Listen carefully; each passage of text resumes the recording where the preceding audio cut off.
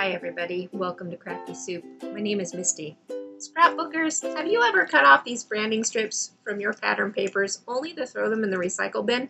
Well, I want you to stop doing that. Today I have a few tips and tricks for you on how to put these to use in your paper crafting projects. We'll start with simpler ideas and then we'll work our way up to more intricate ideas. So let's get started. Well, I said more intricate ideas. Honestly, they're just ideas that are take a little more time at the end of the video, so we'll get to that. In the meantime, let's take a look at branding strips in general. Now, some of them will have complete patterns on one side of the branding strip, and some of them will only have partial patterns, so I'm going to give you a few tips on each, and this is how I store my branding strips, just in a page protector, regular 8.5 by 11 page protector on a shelf. And for the purposes of this video, I'm going to be using this white cardstock and these two black and white photos to demonstrate a lot of these techniques. Let's dive into this first technique, which is more functional than decorative. If you have scraps of pattern paper left over, you can use them to build a full 12 by 12 layout using these border strips that you either don't like or don't have any decoration to them. So when I have patterns, I cut them to equal a full 12 by 12 layout, I flip it over, and then on the back side, I use the ugly branding strips to glue my pages together, and it creates one complete page again. You could also do this technique using 6x6 paper pads. If you have a lot of those in your stash, you can create 12 by 12 layouts. Once you have your pattern papers blocked together into the size layout you like, you can always decorate them up with the branding strips that you do like. And here I'm just using a couple of different colors to add more pizzazz to this layout. Super simple idea.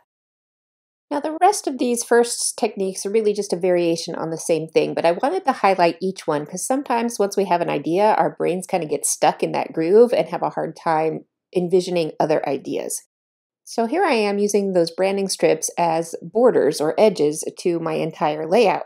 You can use one, two, three, vary it up however you like. You can put them tight together or spread them apart. Don't forget you can rotate the page and the borders can be uh, on the top and bottom or on the left and right. You can also use an L-shaped border and create a design that way. If you shift your borders inward on your page, you are now creating columns. And again, you can do tight columns, you can do loose columns, you can do multi patterns of columns and so on and so forth. So be sure that you're moving these pieces around on your backgrounds so that you can get lots of ideas.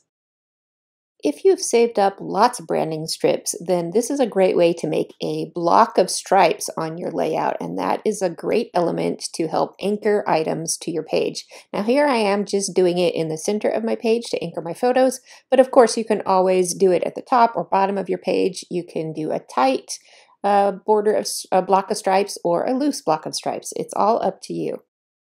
Okay, now we're moving on to a few other ideas. Have you ever thought about using branding strips to create photo mats?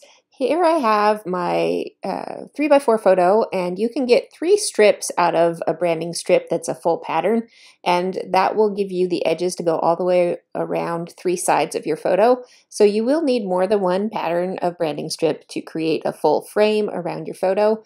And for larger photos like the 4x6, you'll get two edges done and then you'll need another branding strip to get the other two sides going. But if you save up your branding strips, you can mix and match patterns that uh, work well to coordinate with your layout design. And I actually prefer that uh, frame on the left that has lots of pattern around three sides with a solid foundation on the fourth side. And don't forget that as we go along, we can always mix and match and combine all these ideas together. So I've got a block of stripes and I've got my photo mats. So far, we've just been using the full branding strip designs, but what about those branding strips that only have partial designs? Again, you can use those as photo mats, or here you can, if you have a solid block of paper in the middle or photos in the middle, you can uh, divide these strips into portions and make them look like they stretch all the way across the page. So that is one idea, but here I'm going into using these strips to create banners. And I just cut a fishtail end to these banners where I slice up the center and then from each of the corners I slice into that central slice to get a nice even fishtail. And I will show you one more other way to do that here with the um, square punch. If you put your strip into the corner of the square punch, that can help you get a nice even fishtail as well. And remember, there are lots of ideas of how to use these banners. You can use them just at the top of a layout where they're hanging down, or you can uh, create opposite ends and let the bottom set of banners angle up. You can put these banners on curves and uh, you could do mixed and matched lengths of banners. There's so many ideas with these. Again, play with them. You could also staple these banners to your layouts and add more texture to them. And don't forget, you can mix and match your banners with the other styles we've shown before. So here they are mixed up with a column style. And here they are mixed up with the stripes uh, block style. Okay, let's take our strips to the next level. We are going to use border punches on these. Now you might think they're a little too narrow to do that, and while it does take a little dexterity to get there, it is possible.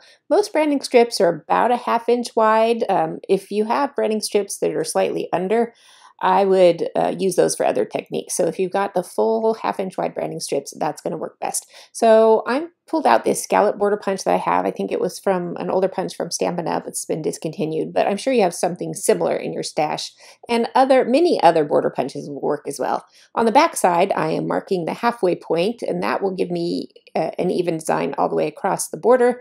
Most punches will have some kind of central mark on them that you can line up that pencil mark with, and that will give you um, even, especially with scallops, you'll get, you know, the same size of scallop on the end of each side.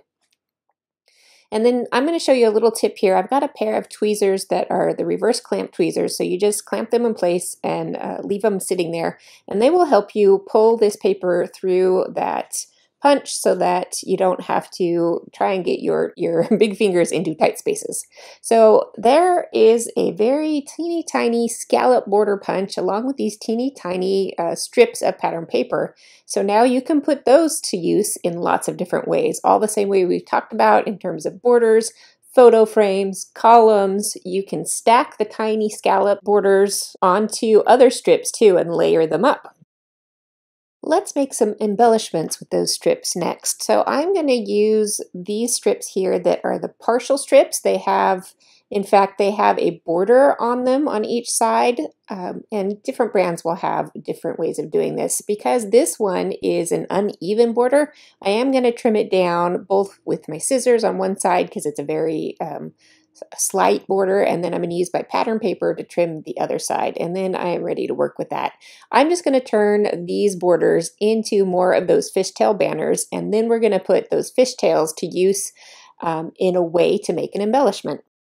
So I've got all of these uh, strips cut out and most of them are uneven. So for this first way, I'm going to go ahead and stack these strips up with the shortest strip on the bottom and the kind of in gradually ascending order so that I can trim them all to equal length. So once I've got this stack, I slip the tip of my scissors just under one strip of paper at a time and then clip it flush with that shortest strip and I just go one at a time until they're all the exact same length. And then we're ready to move on. So I'm going to place these strips in a row of pattern that I like, and then I'm using this kind of smallish hole punch, and I'll put a link in the description if I can um, find what size that is. And I'm going to punch holes into the ends of these pieces, and then I'm going to thread a brad through those holes and fan out these pieces, and now I've got these burst elements. You can see you can do the bursts with all the same size pattern papers, or you can mix and match with staggered sizes of pattern papers. And these bursts can make fun borders and edges along with all the other techniques we've talked about. We are up to our final way, which is weaving. Now, this this one does take a little bit of time, but it's not super hard, and um, just be patient and you can do it. I have got a mix of pattern papers here, just kind of everything that I've got left in my stash. Uh, because I have a lot of stripes and several icons, I am going ahead and offsetting those with stripe, icon, stripe, icon, both for these vertical pieces and for the pieces we're going to use horizontally. I taped all of those pieces um, the vertical pieces to my table so that they can't shift and move on me. And then I am just going over, under, over, under with these horizontal papers and then doing the opposite for the next horizontal paper, and that creates this weave pattern. You've probably done this in projects as a kid, but they work perfectly and beautifully in your scrapbook projects as adults. So let me go ahead and fast forward through this weave project here. I You can do these tight, and we'll talk about that a little bit more later, but here I am keeping a loose weave because I want to show you that you can do this um, weave pattern for an entire 12 by 12 background.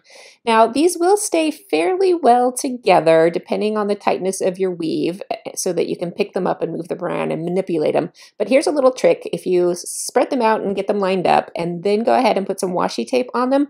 That will help them stay uh, more as one block to give you a chance to move them around. Then you can flip it on the back and just adhere glue to each stripe and row. And when you flip it back over, you can tape it down and that wet liquid glue will give you a little bit of wiggle room to straighten everything out if it's crooked. So here is that tighter weave I was talking about, and these can be really fun, and especially because they're much easier to move around when they're tighter weaves. They won't uh, lose their shape as much on you.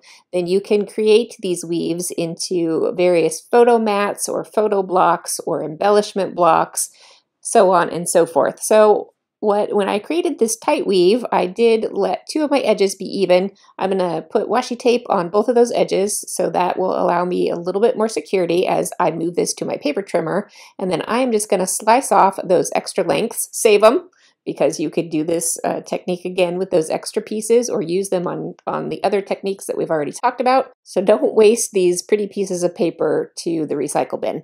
And again, you can just flip it over, put your glue on there, and then plop it down. And because, like I said, this one is a tighter weave, you can pick these up and move them around a lot more easily. And again, go ahead, mix and match. Put all of these ideas together into one lovely project. So that's it. Those are the 10 ways I am sharing to use branding strips. And of course, you could always do this with strips of pattern paper you cut yourself, but why not use these branding strips that you were going to throw away anyway? As we look at how I'm putting this together into a project, go ahead and tell me if there's ways that you like to use your strips of pattern paper so that I can learn from you as well. Thanks for watching. I hope you got something useful out of this video. If you did, I would appreciate a thumbs up because that does help my channel. And I will be back on the 1st with a new cycle of videos for you starting with my counterfeit kit challenge build. So I hope you'll come back for that. Thanks for watching and I'll see you next time.